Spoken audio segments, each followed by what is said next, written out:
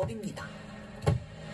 두 가지 방법 모두 익혀놓으면 좋겠지만 굳이 하나를 선택해야 한다면 저는 힐업입니다. 나중에 더블킥 같은 모션을 사용하려면